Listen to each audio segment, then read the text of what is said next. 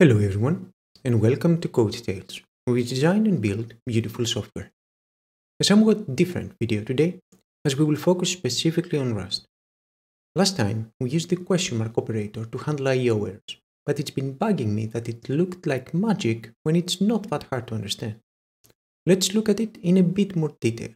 So, why does Rust need a special error operator in the first place? Well, interestingly, it doesn't. The question mark operator is syntactic sugar for a common pattern that is mostly used for handling errors, but as we'll see, result and option are just a special case of a much wider and cooler capability. Here's what I mean. I'm going to rewrite Rusted's command types to be a struct that contains the command enum and the arguments passed to it. This way, we can have an execute method on it which lets us know if execution succeeded or failed. Since a method can return only one type, we need one that is common for both successful execution and error. And that's exactly what result is for.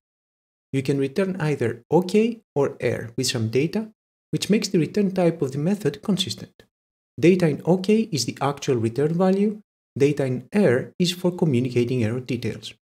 So far so good, but let's see what happens when we try to call this method. The caller will have to get the result, see if it is OK and extract the value so, or if it is air, it should handle the air. In this case, I'll assume the caller cannot handle the error and needs to pass it up the stack, which is a pretty common idiom. This pattern appears practically every time we have a method returning result or option, and whenever you see such boilerplate code, it is automatic to make it into a macro. Naturally, Rust 1.0 bundled exactly such a macro, called try, that expanded to this match expression and it looked exactly like you'd expect. I use past tense because Rust 1.13 introduced the question mark operator. That is basically a postfix version of the try macro. Try is still around but deprecated since Rust 1.39. In the description, I have a link to the blog post announcing this change, and there you can find the rationale for it. The main takeaway is that question mark is a postfix operator, so we can have method chaining that looks pretty. Here's what a code looks like when using question marks instead of match expressions. The only change is that result handling is simpler. If, in your mind, you expand question mark to be the match clause, then you know exactly what is happening here. That's all there is to it, really. The last bit to cover is the from call on the error value. This is just a small convenience to allow automatic transformation from one error value to another. Here's an example. Let's assume we want to keep the string boolean tuple as an internal detail and only want to return a string on an error. The standard conversion mechanism in Rust is implementing from, in this case from string boolean to a string.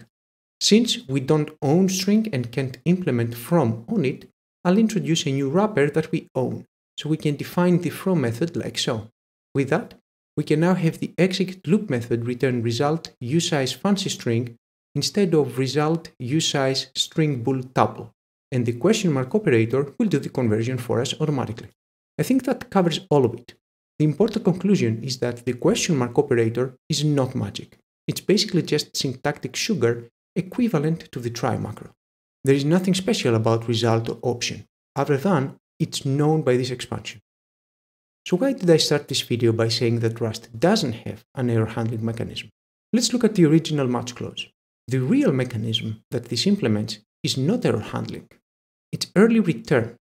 The match statement doesn't apply only to error handling. It's equally useful in, for example, a fold operation that needs to return early without signaling an error. Here I am adding the elements of a vector and I want to return the element at which the addition exceeds a limit.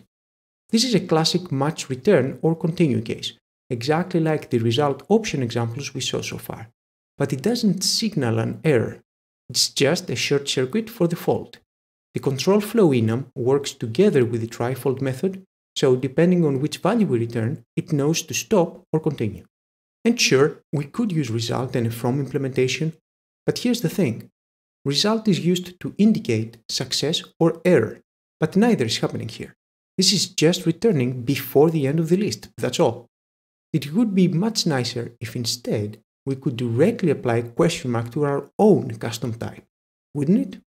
Turns out that on Rust Nightly, this is possible. Let me tell you about the try trait v2 RFC.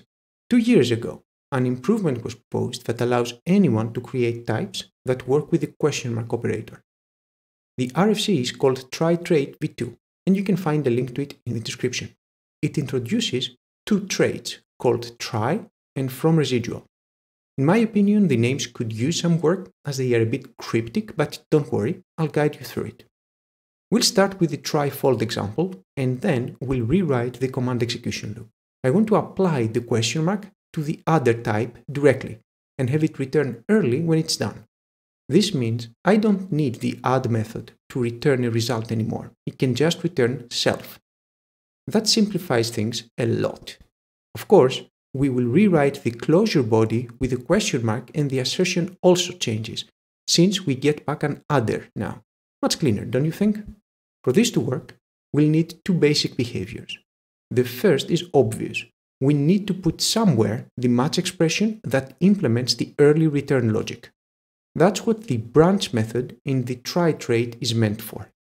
It has to return control flow, break, or continue, and each variant can have a different value, which is equivalent to results OK and error values. The second behavior is a bit more obscure but equally important. It may seem surprising, but there are four type transformations going on in a vanilla match expression.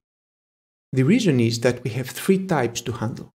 One is control flow, which functions as a container for the other two types, the one that goes in continue and the one that goes in break. In the match expression, we always convert from control flow to the contain type. And at the end of the loop, we either create a continue or a break. This conversion needs to be implemented somewhere.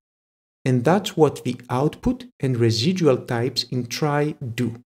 Output is what goes in continue. Residual is what goes in break, which we can see in the signature for branch we need to be able to convert from this to the actual try type so the question mark desugaring can do its magic. The naming here is a bit weird in that output and residual make sense in isolation, but they don't quite work together, like for example break and continue do. I'm not sure what a better alternative would be, but for me the current naming scheme takes a bit of effort to translate. Anyway, in this example, adder is simple enough that output and residual can be self, which also means the implementation of from output just returns the argument. The last piece is the implementation of the from residual trait, which has just one method that converts from the residual type to the try type. This is also just an identity function for our adder.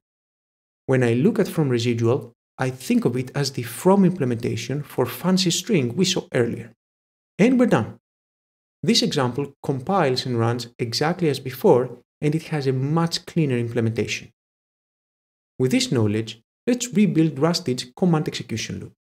I want to get the bytes processed from a command execution if it's successful, or return early if it fails. I'll introduce my own type, execution result, that contains this information, and it will need to implement try and from residual. Here's how I chose to do this. The output is usize because that's the value I care about on success.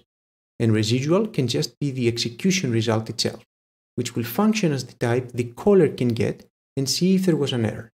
Just like adder, the from residual implementation is trivial. But for from output, we'll need to build up the return value with appropriate semantics. You can get more fancy here if you like, but for this example, I think this will work fine. And here it is in action. Note that we don't use result or option anywhere. Everything is custom types that work nicely with the question mark operator. All code we saw can be found as a Git repository, and Rusted has also been updated to make use of what we've seen here. You can find links to all this in the description. As an epilogue, I want to describe how I see the evolution of the design in this small corner of the language. Rust came out with result, option, and the match expression. Soon it was obvious that a lot of typing could be saved by having the try macro. Then, the question mark operator is introduced, which is still syntactic sugar, but it makes the code easier to read and write. After a while, though, it starts taking on a new quality. It still behaves like a match expression, but now it looks like it's applied on a return type. it was just a matter of time before a new pattern, something like try-fold, would provide the spark for someone to think of question mark as applying to try types. And that's how we get to today, where question mark is no longer just an error handling mechanism, but a generic early return decoupling device that remains, in principle, syntactic sugar. Eventually, we will go back to try, but this time as a keyword and block expression, instead of a macro, which will build up on the new patterns that will emerge after try trait v2 enters stable. And maybe we'll see more core types implementing try and from residual.